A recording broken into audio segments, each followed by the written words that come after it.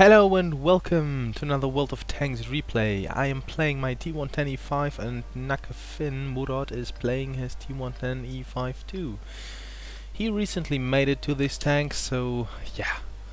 Look at this beautiful beast. Yeah, as beautiful as beast as it is, as paper thin it is. But yeah, bad map. Uh, I, don't, I don't think this is a bad map. I, I kinda like this map and I really kinda like this tank. Although I mostly am unlucky with it um, nowadays I'm playing it in, in platoons some more.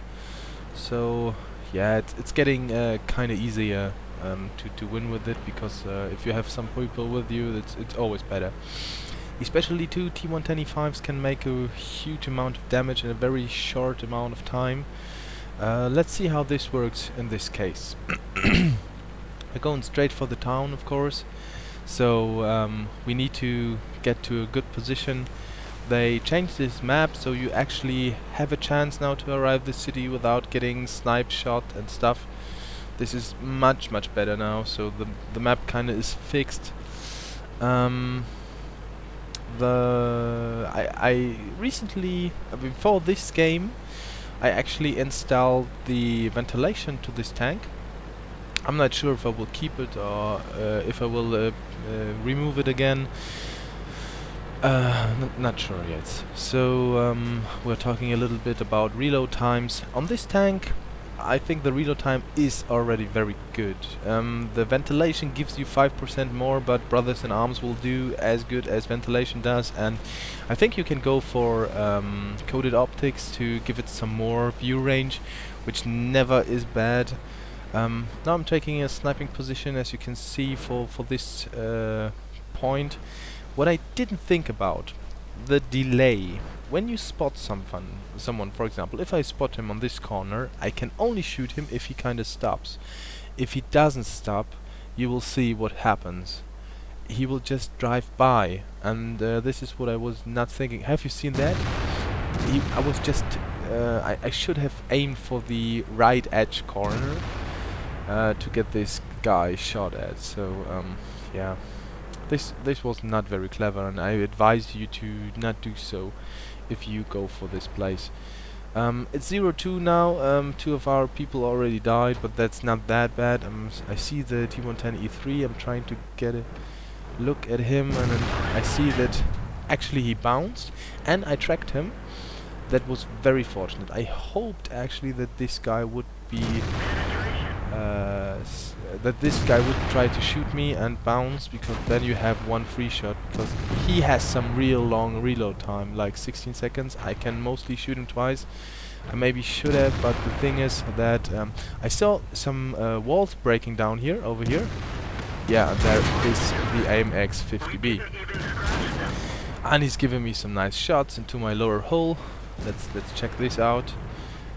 Uh, yeah where you can see he panned, it's, it's really bad. The uh, IS-7 told me that I should follow him and I will just do it. Although this guy is red, it doesn't necessarily mean that he has no good ideas. So in, in this case it was a brilliant idea.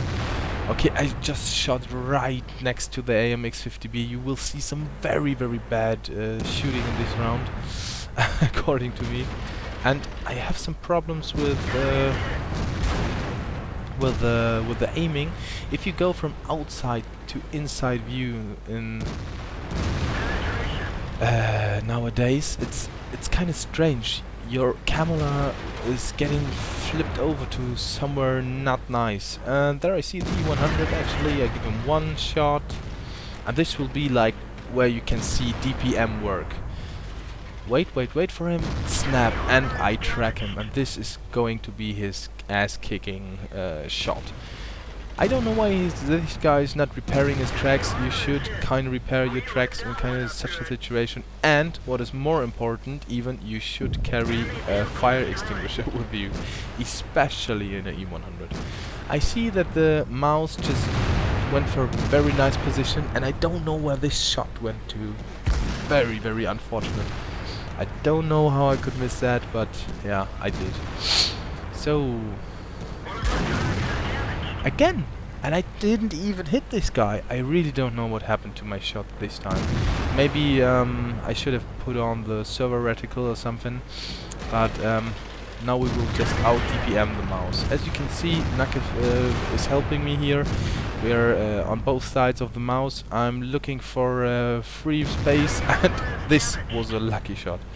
Um, try always, if you have like trains and stuff, to, to use them for your advantage. I thought maybe I can shoot through the uh, train tracks, but you can't, as you can see in this place.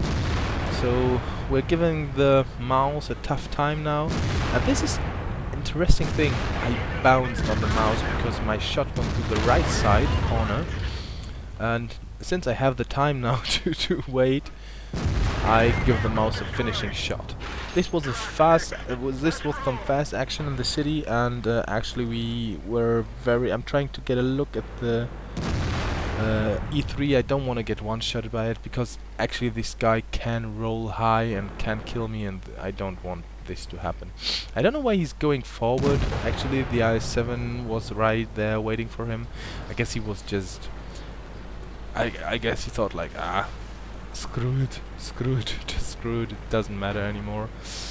Um, I want to kill this artillery because I hate artillery and artillery shot me before. As you can see it's still reloading so you don't have to be too careful while driving forward. I hopefully will get this guy. Not sure about it though. We did 4,200 damage and 2 kills, not something uh, yeah according to the kills it's not very something uh, very much but uh, the amount of damage actually is not bad. Um, yeah I have to admit the E100 helped me a lot with this. I'm pretty sure he couldn't repair his tracks um, and I could have kept him uh, uh, tracked but still